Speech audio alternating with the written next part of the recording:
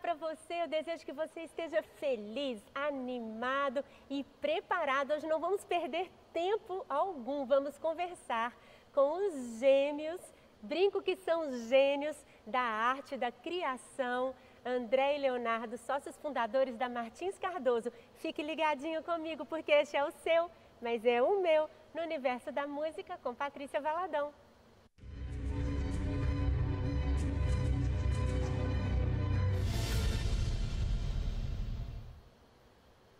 Mas eu estou muito feliz. Hoje vamos conversar sobre animação, trilha sonora e nada melhor do que um bate-papo super gostoso com Leonardo e André. Sejam bem-vindos, bem-vindos, Leleu, bem-vindo, Dedé. Que bom estar aqui com vocês.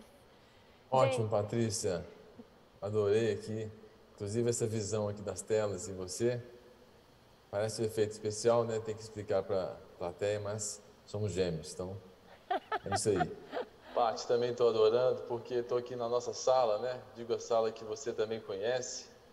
E vai ser um prazer fazer dessa maneira. Já fizemos ao vivo. Tudo certo, vamos que vamos. Vamos que vamos. Eu não quero perder tempo, porque eu tenho pergunta demais para fazer para vocês.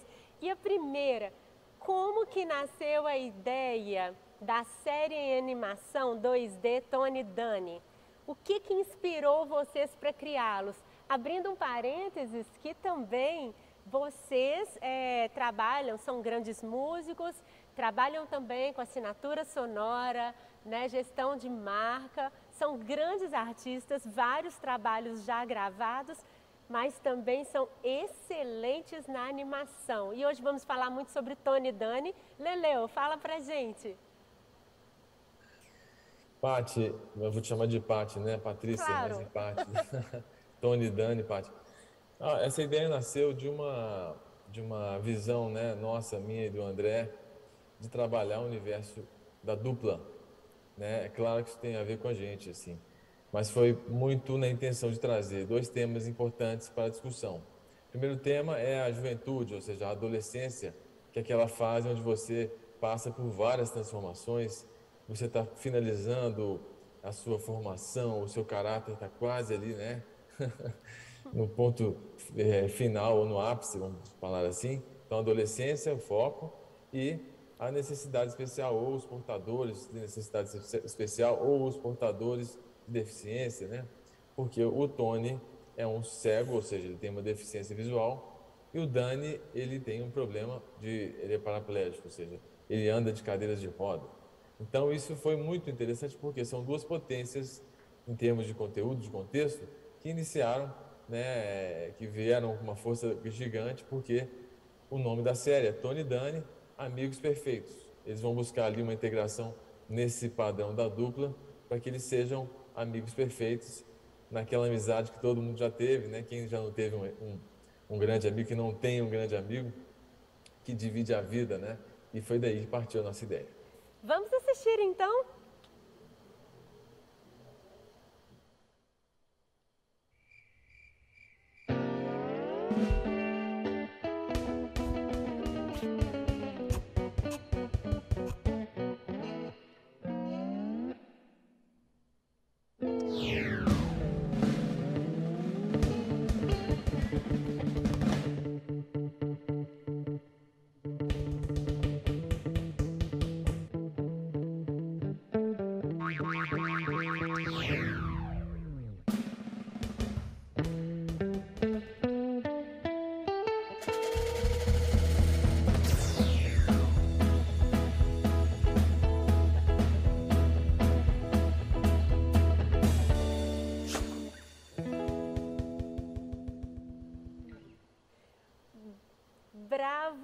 Bravo, que maravilha!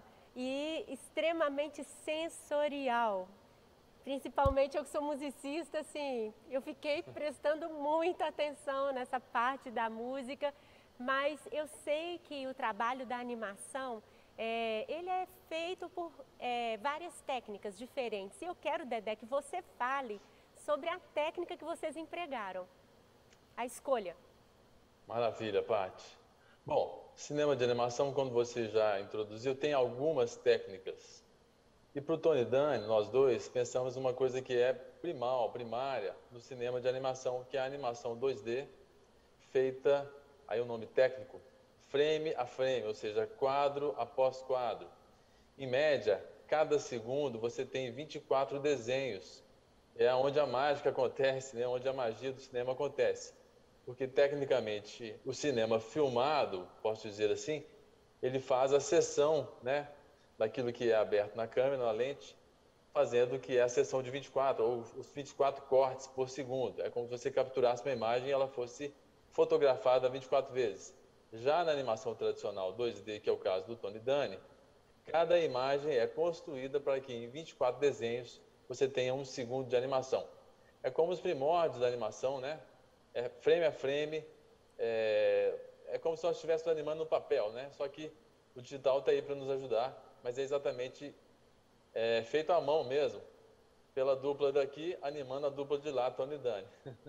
Fantástico e dá muito trabalho, porque vocês têm que pensar no movimento final e construir esse meio.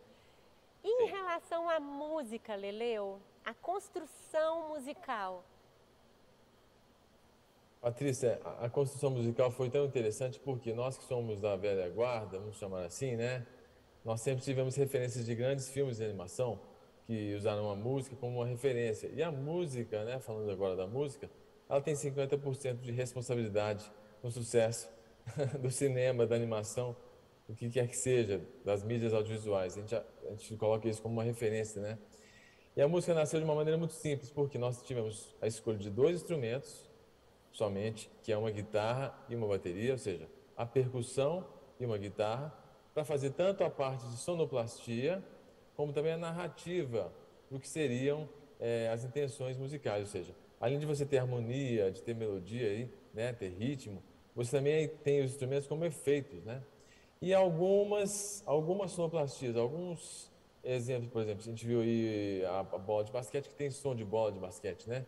Então são alguns elementos que são de sonoplastia real, assim, onde você tem a, a dublagem daquele objeto, mas praticamente só dois instrumentos, guitarra e bateria.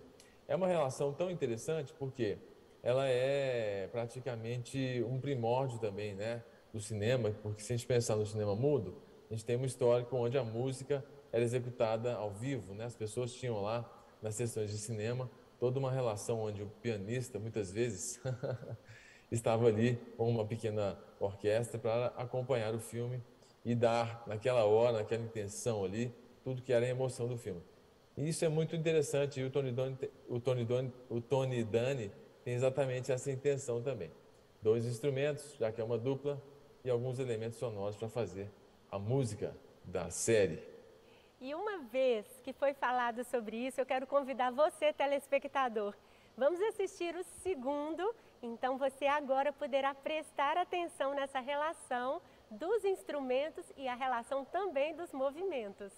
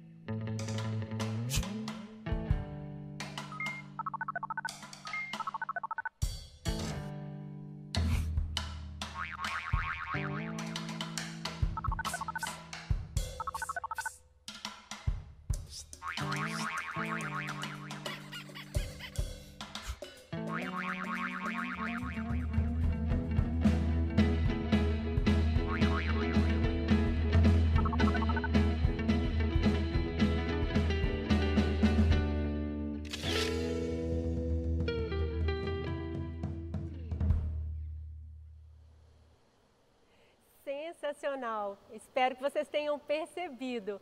Eu sou suspeita porque eu amo o trabalho de vocês, a inteligência que vocês têm da construção.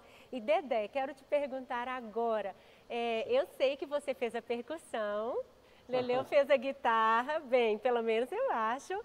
Mas como que foi o processo? Eu sei que vocês certamente desenharam primeiro e depois colocaram a música, toda a escolha, mas como que foi gravar a trilha sonora?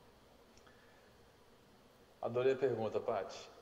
Como o Tony Dunn tem uma relação visual de contraste, né, digamos assim, preto no branco, e eles também têm uma relação de contraste das cores, quando eles estão representando sentimentos, eles mudam de cor. Nós escolhemos frequências que são frequências muito próximas a essa discrepância e frequências que são praticamente complementares.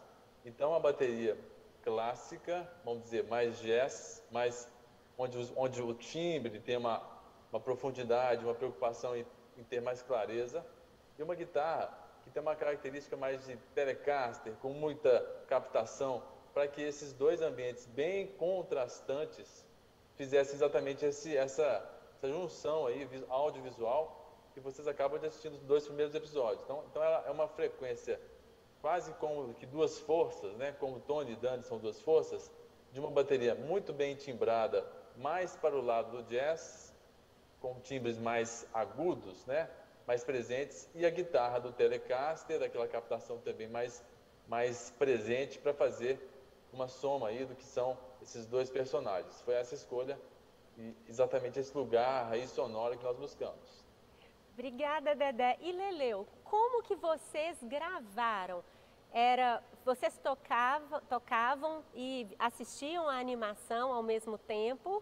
Como que foi feita essa sincronização? Eu fiquei curiosa. Ótimo, Paty. A gente fez exatamente isso. Nós animamos primeiro, depois tocamos por cima. É uma dublagem né, sonora, praticamente. Então, como os sonoplastas fazem, né, vendo os filmes e naquele momento que ele está assistindo, né, por exemplo, ele está fazendo um cavalo correndo, ele está tá, tá, tá fazendo aquelas coisas, as pessoas já devem ter visto isso, que é até engraçado.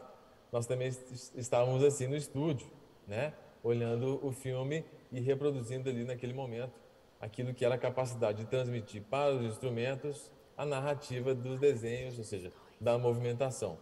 Ou seja, a música veio depois. Muitas vezes, no caso de diálogos, quando existem diálogos, né, é normal que você faça primeiro o áudio e depois você complemente através do áudio o que são as sequências animadas. Quando você tem diálogo, principalmente é assim. Mas no nosso caso foi depois, ou seja, a animação veio primeiro e toda a parte sonora veio depois. Fantástico. E agora vamos assistir mais um. Quantos, quantos vocês fizeram, Dedé, dessa série? São nove episódios. Nove episódios. Sensacional. Vamos assistir mais um?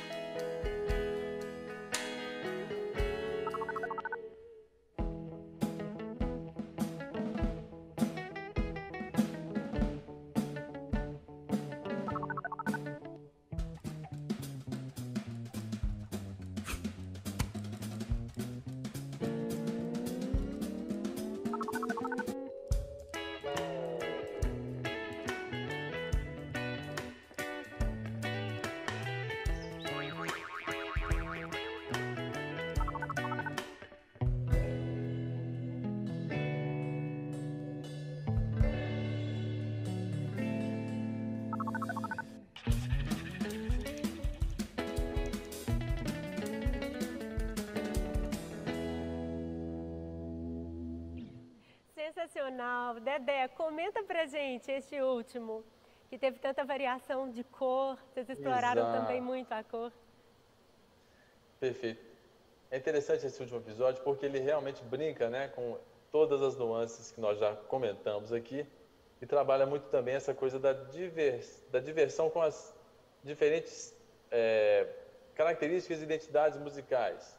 Tem uma brincadeira ali do maestro, que ao mesmo tempo que ele é o bastão dele é usado para que ele tenha a direção, ele vira o maestro para conduzir uma orquestra, tem uma passagem mais rock, tem uma passagem mais ampla, mais profunda, é, misturada com uma coisa muito lúdica. Então, o é episódio que acabamos de ver, que chama-se é, Sons, exatamente o nome dele, ele tem essa diversidade, essa multiplicidade audiovisual do Tony Dani.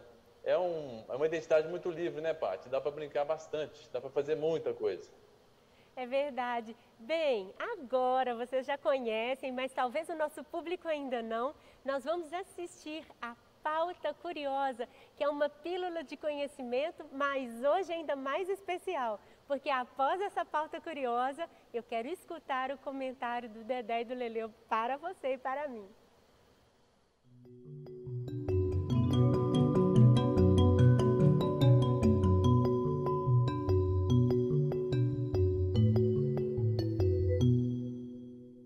Cinema nunca foi totalmente mudo. O que não havia era uma técnica eficiente capaz de sincronizar o som à imagem. Para isto, na maioria das salas de cinema havia um pianista encarregado de criar estes climas nas cenas, improvisando sobre um repertório próprio conforme sentia as imagens, cumprindo uma função meramente ilustrativa. Foi Charles Chaplin, ator, comediante, diretor, compositor, roteirista, cineasta, editor e músico britânico atuante no século XX, um dos primeiros diretores nos Estados Unidos a sentir a necessidade de uma adequação mais precisa da música à imagem projetada, não querendo depender do senso estético dos pianistas em cada projeção. Para tanto, compôs ele mesmo partituras para acompanhar seus filmes.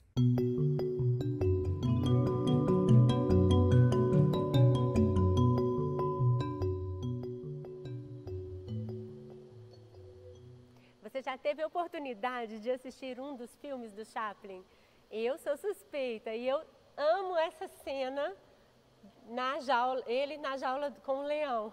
Dedé, fala pra gente um pouquinho o que, que você pensa sobre esse cinema desta época e logo depois eu quero que o Leleu fale sobre a importância da, de tirar essa música de improvisação e realmente colocar uma música escrita. É muito interessante, Paty, porque essa conexão entre o cinema, o inicial, e essa ideia musical, ela tem um paralelo na animação também muito conhecido. Por quê?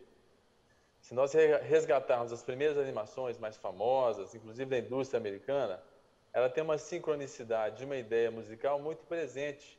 Os primeiros filmes aqui de todas as grandes corporações americanas do cinema de animação têm essa realidade que é muito próxima até do que o Chaplin, né, quis identificar aos, aos filmes deles, as relações cognitivas entre a intenção musical e a própria cena, a própria sequência. Então é muito interessante e esse paralelo sempre existiu. O cinema de animação usou muito a música dessa maneira. Obrigada, Dedé. Patrícia, olha só, como é, é importante a criação, né? Porque se a gente fala de mídia, se a gente fala de audiovisual, se a gente fala de uma linguagem tão rica como o cinema, o próprio Chaplin é o um exemplo, né? Dentro da genialidade dele, daquilo que era uma necessidade, ou seja, de imprimir ou de registrar o que era uma linguagem combinada de imagem e de áudio. Então a percepção dele foi quase que uma necessidade para primeiro criar a mesma emoção que eu acho que o papel da música traz para o cinema, porque você vai trabalhar a extra diegese ou a diegese dos filmes, né? Estou usando aqui termos técnicos para simplesmente trabalhar uma narrativa onde o som ele tem protagonismo e principalmente ele é fator para emoção, né? Ele está carregado de valores para que o seu filme funcione ou não. Eu já vi filmes maravilhosos onde a música não ajuda. E já também assisti filmes não tão muito bons, onde a música é, cria lá um sucesso, né? muito pelo que é colocado na trilha. Mas o Chaplin é um exemplo claro de como a criação de música e de imagem é fundida, ou seja, como eu falei aqui no início da, da, da entrevista, para gente aqui, para mim e para o André, é 50%. Música e imagem. É. E eu quero que vocês tragam uma palavra de incentivo aos músicos, principalmente porque este programa é voltado para você, músico, sobre a importância do trabalho de excelência, porque esta também é uma porta. Então, uma breve palavra, Dedé e Leleu. Perfeito. Olha, você que é músico e você que adora criar, né? O cinema ou audiovisual é um campo quase que inesgotável. E com a tecnologia e com os dias né, que vivemos, cada vez mais entranhados e consequentes na tecnologia, isso tem ampliado bastante o trabalho e a oportunidade de mergulhar nesse ofício, que é musicar audiovisual ou musicar filmes ou comerciais, o que seja. É um caminho espetacular. Nós amamos fazer isso. Obrigada, Dedé. Eu que agradeço. Exatamente, vou pegar carona nele para dizer que existem mercados que sempre vão precisar de música. O mercado da publicidade, o mercado da comunicação, o mercado da indústria do game, né? Que vai trabalhar sempre a narrativa. Onde você tiver músico, perceba uma coisa, onde a linguagem da narrativa existir, ou seja, audiovisual, a música estará presente, o seu trabalho será muito bem-vindo. E é isso aí que eu desejo para que vocês é, tenham como linha ou direção para trabalhar, né? abrir os campos de trabalho e desejo sucesso para todos vocês. Obrigada, Leleu. E eu quero enaltecer o trabalho de excelência de vocês dois. Acho que é uma benção, né? Vocês terem tanto o lado criativo, esse lado do manual, do desenho, do traço, da linha, quanto também o, o talento musical incrível que vocês têm e poderem juntar e produzirem tantas coisas, tantos produtos diferentes para vários nichos. E então, sei que o contato de vocês está aí e é muito interessante que se você quiser procurar profissionais de excelência, olha, recomendo demais. Além do que estar com eles é sempre uma diversão. Quero agradecer vocês demais, vocês são do meu coração. Muito obrigada. Obrigado, Pati. Muito obrigado. Até a próxima, que seja breve. Sim. Patrícia, aqui o beijo e o abraço são sempre duplos. Então te mando um segundo beijo abraço. Eu que agradeço pela oportunidade e também dar um alô aqui para todo o seu público. Obrigado. Obrigada, tchau. Bem, agora vamos para aquele momento especial, que é o momento das perguntas. Faça sua pergunta, envie para, o, envie para o meu Instagram, pode ser no privado, Patrícia Underline Valadão, ou para o e-mail no universo da música, arroba gmail.com. Será um prazer te responder. E as perguntas de hoje. Existe a melhor idade para se iniciar a música? Esta idade varia se for para canto ou instrumento? Bem, a melhor idade é na infância. A criança ela não sente aquele processo do aprendizado que muitas vezes é árduo e exige paciência, o que às vezes nós adultos não temos. Mas muitas vezes você já passou da infância. Então eu falo, sempre existe o tempo certo e o tempo é o seu sonho. Quer estudar música? Estude mesmo, vai com tudo, realize seu sonho, Deus vai te honrar. Agora, em relação ao instrumento, certamente, é, quando você é bem jovem, né, está na primeira infância, você não vai conseguir tocar determinados instrumentos. É precisar você crescer um pouquinho. Então, por exemplo, uma criança com três anos, com três anos eu já me aventurava no piano, mas possivelmente eu não iria conseguir começar a aprender a tocar tuba ou uma harpa, né? Eu precisaria crescer mais. Mas é importante é, os pais investirem nos filhos, quando eles observarem que a criança tem aquela vontade com a música, já coloca na aula para ele ter experiências musicais, participar de musicalização infantil, tocar e experimentar diversos instrumentos e assim que o desejo dele se firmar em algum instrumento, certamente essa adequação será possível, mas toda idade é certa. A segunda per pergunta: você fica nervosa no dia da apresentação? Olha, fico. Tem apresentação que eu fico extremamente calma, como se eu estivesse na minha casa.